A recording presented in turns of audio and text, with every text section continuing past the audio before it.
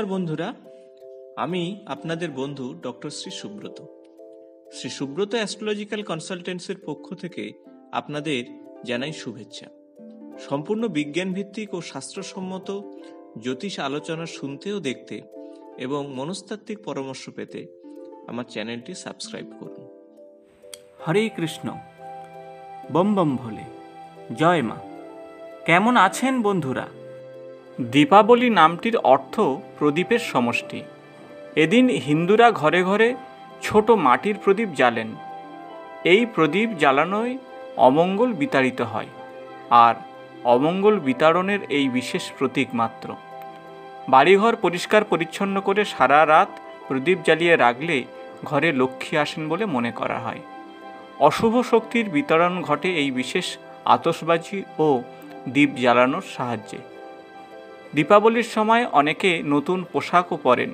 পরিবার ও বন্ধুবান্ধবদের সঙ্গে মিষ্টি বিতরণেরও প্রথা রয়েছে।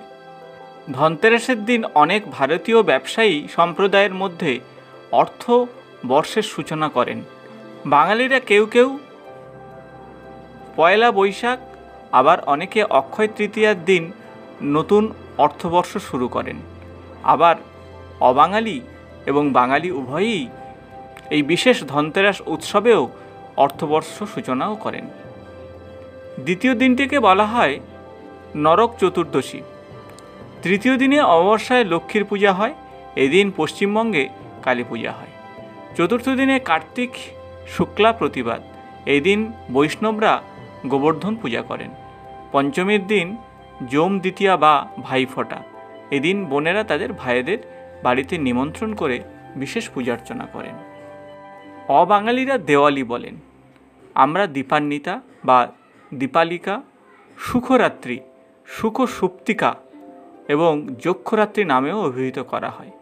মহালয়ার শ্রাদ্ধ গ্রহণের জন্য যমলোক ছেড়ে যে পিতৃপুরুষগণ মর্তে আগমন করেন বলে মনে করা হয়, তাদের পথ প্রদর্শনের উল্কা জ্বালানো হয়।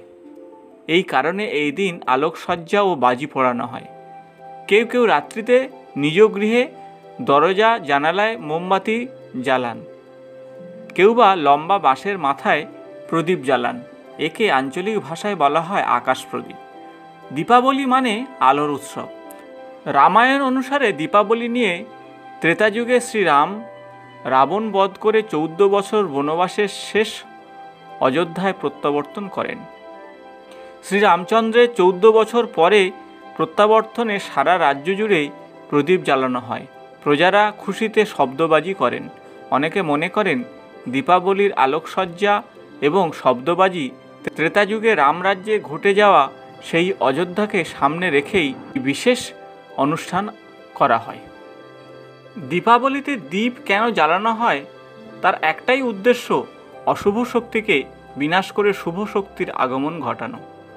আপনি যদি এই শুভ শক্তির প্রতিষ্ঠা করেন তাহলে আপনার ব্যবসার ক্ষেত্রে হোক আর আপনার চাকরির ক্ষেত্রে হোক বা আপনার কর্মক্ষেত্রে হোক, সমস্ত ক্ষেত্রেই আপনার উন্নতি ঘটবে এবং পাশাপাশি আর্থিক উন্নতি অবশ্যই ঘটবে।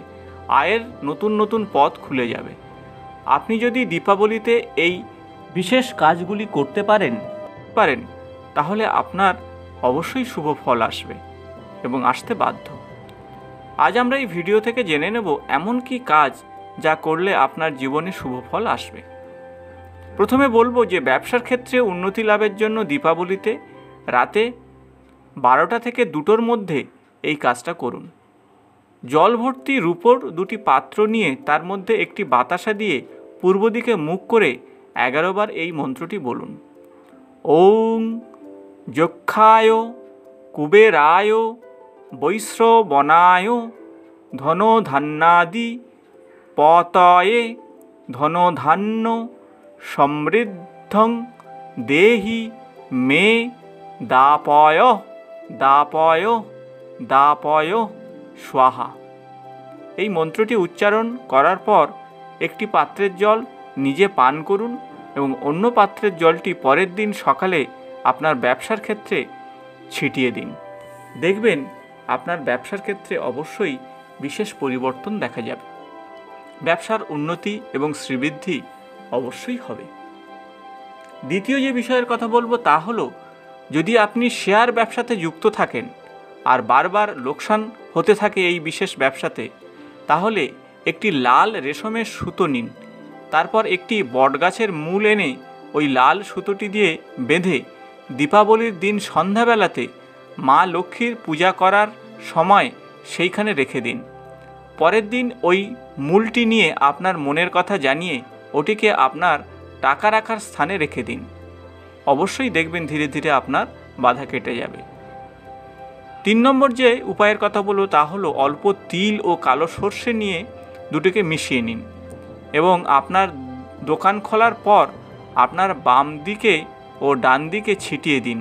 দেখবেন ব্যবসার শুভ ফল আসতে শুরু করেছে। আপনার যদি লক্ষ্মী গণেশ রূপর থাকে, তাহলে দীপাবলির দিন রাতে তাদের আলাদা আলাদা বাটিতে গোটা ধান রেখে ও তার উপরে লক্ষ্মী গণেশকে রাখুন। পাঁচটি পদ্ম ফুলের বীজ নিয়ে ওই বাটিতে দিন। আর ওম শ্রীয়ে নম। আবার বলছি মন্ত্রটি, ওম শ্রীয়ে নম। এই মন্ত্রটি বলে আপনি পুজো করুন।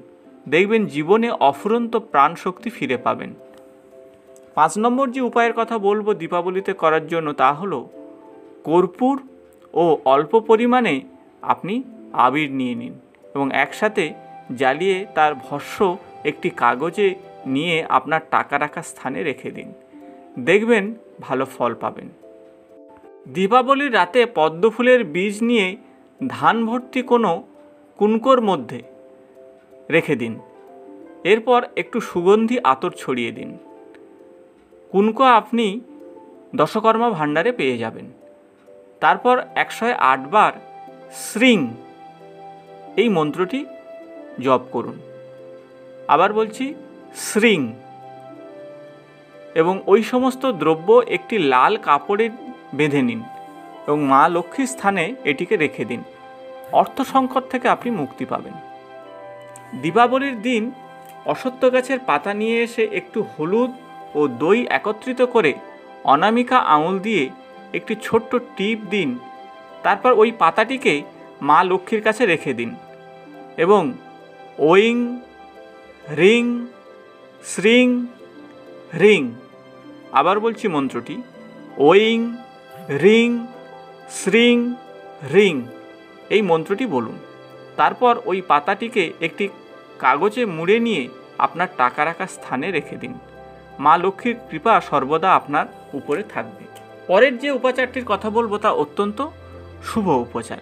তা হলো, দীপাবলির দিন সাতটি নারকেলের উপরে শ্রিং শব্দটি লিখুন এবং একটি লাল কাপড়ে জড়িয়ে কুবের দেবকে তা স্মরণ করে পুজো করুন। তার পরের দিন ওই সাতটি নারকেল সাতজন ব্রাহ্মণকে যদি দান করতে পারেন, তাহলে মা মা লক্ষ্মী অত্যন্ত প্রসন্ন হন। আর মা লক্ষ্মীর কৃপা সর্বদা আপনার উপরে থাকে। দীপাবলির রাতে এগারোটি শুকনো খেজুর নিয়ে, তার সাথে একটি রূপোর কয়েন নিয়ে একটি কাপড়ে মুড়ে মা লক্ষ্মীর সামনে রাখুন। পরের দিন সকালে যেখানে অলংকার রাখেন, সেখানে রেখে দিন। তাতে আপনার আর্থিক অবস্থার উন্নতি ঘটবে। তো বন্ধুরা, এমনই ছোট্ট ছোট্ট উপাচার যদি করতে পারেন, তাহলে অত্যন্ত শুভ ফল আসতে পারে আপনার জীবনে। যদি ভিডিওটি আপনাদের ভালো লেগে থাকে, তাহলে অবশ্যই কমেন্টস বক্সে জয় মা লক্ষ্মী অথবা জয় মা কালী কথাটি লিখুন। এমনই গুরুত্বপূর্ণ ভিডিও নিয়ে আবার আপনাদের সামনে হাজির হব। আজ এই পর্যন্ত, নমস্কার।